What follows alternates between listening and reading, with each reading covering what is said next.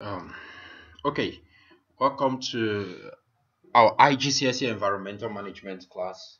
So today we'll be looking at um, the chapter one aspect of environmental management class uh, syllabus that have to do with rocks, minerals, and their individual exploration.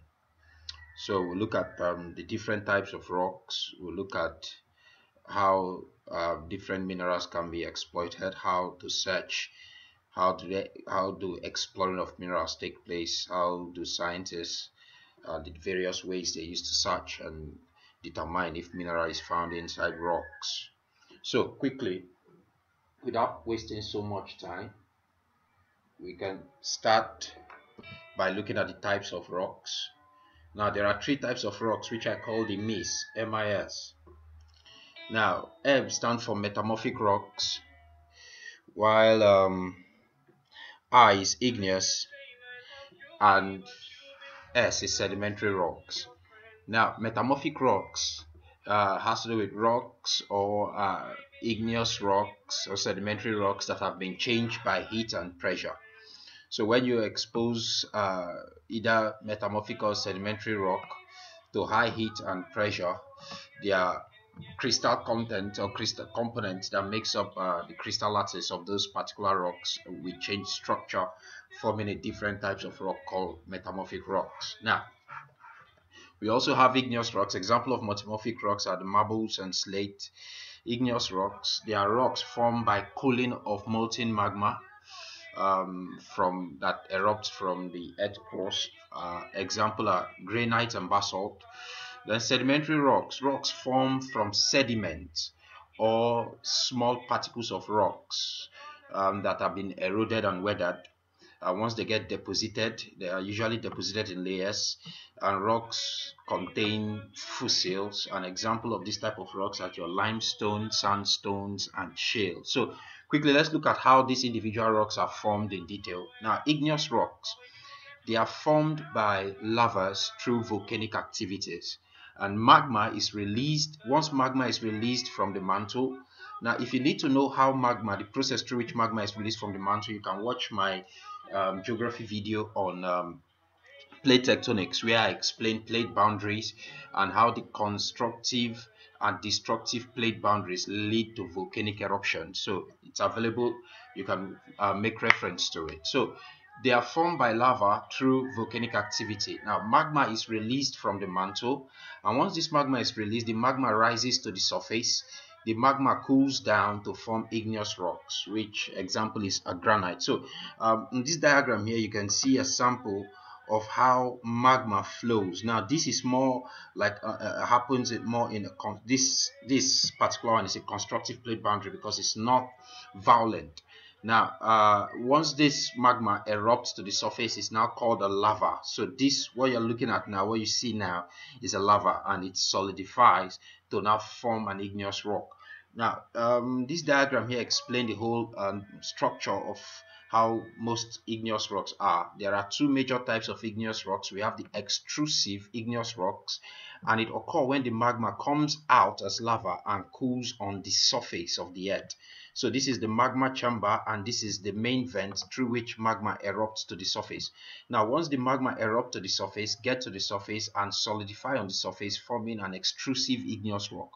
While in the case of intrusive igneous rocks, it's a, uh, it's a, it's a process where uh, usually you have a secondary vent but the magma erupts and did not get to the surface. So the magma cools off beneath the earth surface. That forms uh, intrusive igneous rocks. Uh, so now, sedimentary rocks. Uh, these are made up of sediment. Now, how are these sediment formed in the first place? Because where I found that most students have issues is when you say it's made up from sediment, they begin to think, what is this sediment all about? Now, you see, sediment are small particles which are broken from different rocks. So it can be broken from sedimentary rock itself, it can be broken from igneous, it can be broken from metamorphic rocks. Now, they are broken down as a result of weathering.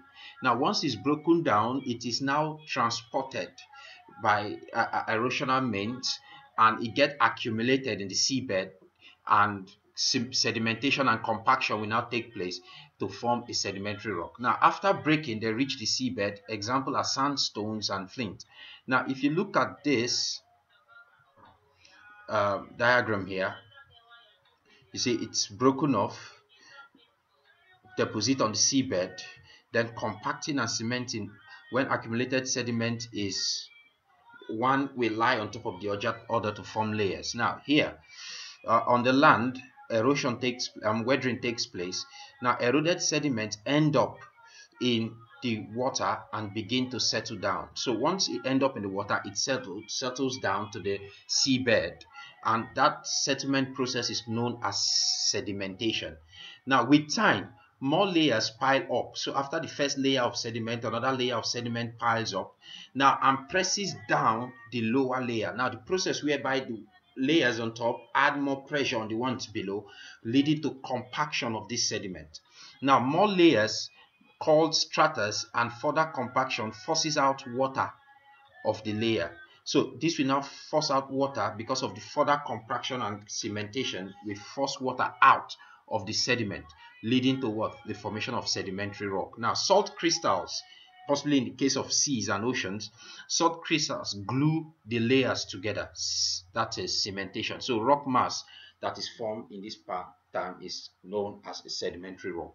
Then uh, in metamorphic rocks. Now um, you see these these rocks are formed in the earth crust which also change their shape now, the change in shape is due to what? Heat and pressure. So when these rocks are exposed to high heat and pressure, heat is provided by the magma flow and pressure is provided at the plate boundaries. Now, if you have this, you see heat from the mantle, uh, magma chamber, help to add more heat up the rocks that were here before because they are changed rocks they have to change their crystal shape. Then pressure from sediment will now help to compress it and as a result change the form of this rock to form a sedimentary rock. It's the same thing you look at here. You see this is how it compresses to now form a sedimentary rocks now earlier you have heat from the mantle hitting the same rock and pressure from the one above it. So as a result it now compresses to form a sedimentary rock so now we now move from there into a rock cycle. Each of these rocks can be converted from one form to another. Now, how do this rock get converted from one form to another through a series of processes? Now, let's start from uh, Matthew, magma. Good. You see, from the magma chamber here, the magma erupts to the surface when it erupts it will now solidify. It will solidify to form it will solidify to form what? An igneous rock through solidification. Now this igneous rock can now be melted again when exposed to heat to form magma which can now still erupt. But let's let's go this way and see. Um, igneous rock now this igneous rock can be weathered once it's weathered or broken down into smaller pieces to form sediment, it can be washed away to a seabed. So this sediment, it forms sediment. Metamorphic rocks also can be weathered. Metamorphic rocks can be weathered also and transported to form sediment. Igneous rock weathered and transported to form sediment. The same sedimentary rocks can be weathered also to still form sediment. Now, each of these sediments will now be transported to where? The seabed. Now, deposition of the sediment and burial, cementation and compaction of this sediment will now lead to the formation of sedimentary rocks. Now, sedimentary rocks itself, when exposed to heat, high heat and pressure from the mantle and um, loads on top of it, this igneous rock exposed to high heat and pressure can all now lead to metamorphic rock through a process called metamorphism. Now, this metamorphic rock can be melted. Sedimentary rock too can be melted. Igneous rock can be melted. All back to magma, which now erupts to form igneous rock and the cycle continues. Now, extraction of rocks and minerals from the earth. Exploring for minerals. These exploring for minerals, what does it mean now? You see, exploring for minerals, these are methods. These are methods used by scientists to find out the presence of minerals in a particular location. Now, method used by scientists to find out the presence of minerals in a particular location is termed exploring for minerals or searching for minerals. Now, these methods include one, prospecting. Now, prospecting is a process of searching for minerals by examining the surface of rocks. So, when you examine the surface of rocks to find the mineral content that is found inside, is known as prospecting. Now, we also have remote sensing. Remote sensing is a process in which information is gathered about the Earth's surface from above. Like I used to say, every material absorbs different rays of electromagnetic radiation. So once you take a picture of them, you'll be able to tell based on the color radiated by that material which type of mineral is found. Now, photographs of the areas are taken from the air first. The images are carefully analyzed for mineral presence. So the images are analyzed for the presence of minerals. Now, aerial photographs that are photographs that are taken from space can cover more ground than a person on the earth's surface. So to be able to tell and give you the location of that particular minerals. Now if you look at this diagram here this is a typical representation of um, a remote sensing diagram. You get that has been analyzed though.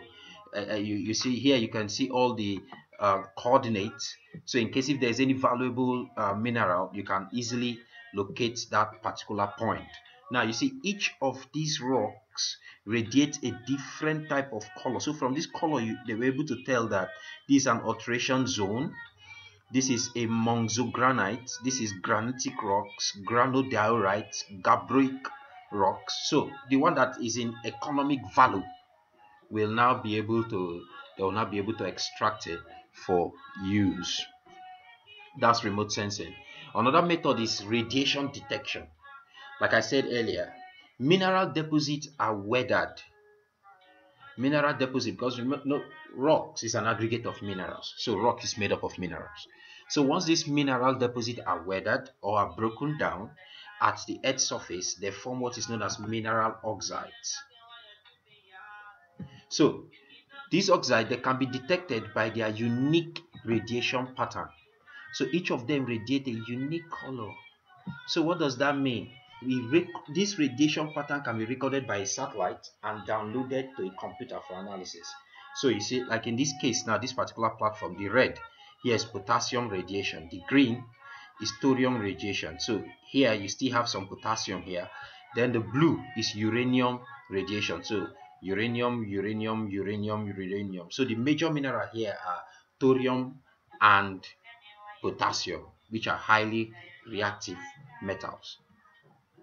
Okay satellite images also uh, is very important is used majorly also for uh, exploring for minerals. So this is done when computers are used to process the data from a region of rocks to check for mineral presence. Geologists confirm the presence of the mineral by visiting the location recorded by the satellite positioning system geologists can further check the availability of the mineral in nearby areas. Using satellites saves time and costs less. So we also have geochemical analysis to search for minerals. Now, this geochemical analysis has to do with analyzing analyzing the chemical properties of rocks by taking samples. Analyzing the chemical properties of rocks by taking samples. Now, The samples can be taken from stream, sediment, soil, or rocks. So when you analyze the chemical properties, you now be able to tell if minerals are present there or not. So next, we'll now look at geophysics. It's also a method. Now, geophysics is a method to identify mineral ores present in rock using their physical properties. Now, a series of vibration, vibration called seismic waves are sent through the Earth's structure. several sensors are placed at different distance distances from the source of vibration on the surface. The vibrations create shock waves that travels down into the rock. Now, these shock waves are reflected back. These shock waves that travel are reflected back to the sensors which is on the surface. So the shock waves record different patterns depending on the mineral present in the rock layer. So you need to uh, know that. So um, that that will be part one. Rock, we've been able to cover types of rocks and also the method of exploring for rocks. So in the part two of this video, so please subscribe so that you get notification when I upload the part two of this video, where we'll now look at mining of minerals.